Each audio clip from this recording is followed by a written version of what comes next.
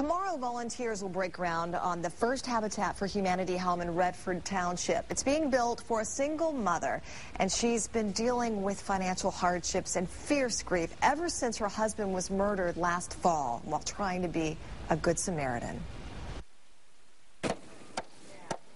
Construction on her new home is a beautiful sight for Angela Jackson. I'm in shock. I mean, it's overwhelmed with me. I, I, I just don't know what to think.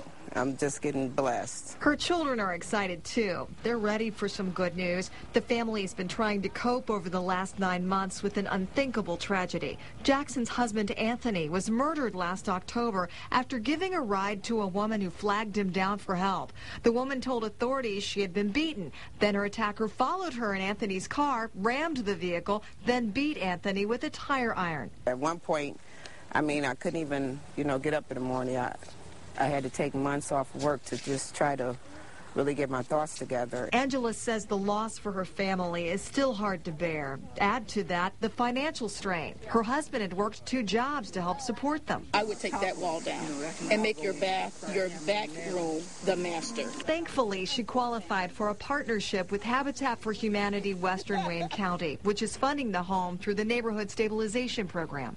The basement's already been poured. This will be a ranch, 1,200 square feet, three bedroom, one and a half baths, and it will be dedicated on World Habitat Day, October 4th.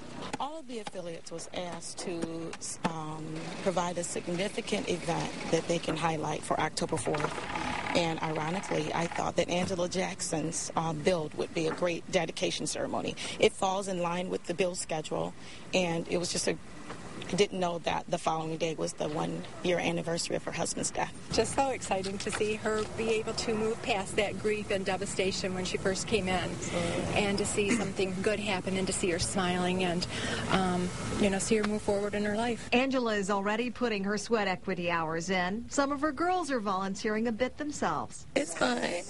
I like it. It's a new experience. It's something new. I never thought I'd be building on anything. Are you getting to hammer some too? I don't know. it might happen. there are certainly more smiles these days for Angela Jackson's family as they pick up the pieces and build a new life. You know, there's hope. There's truly hope. Yes, indeed. As you saw in that video, work has already begun on Angela Jackson's home. Habitat for Humanity in Western Wayne County will hold an official groundbreaking and wall raising ceremony at that site tomorrow. It starts Friday at noon.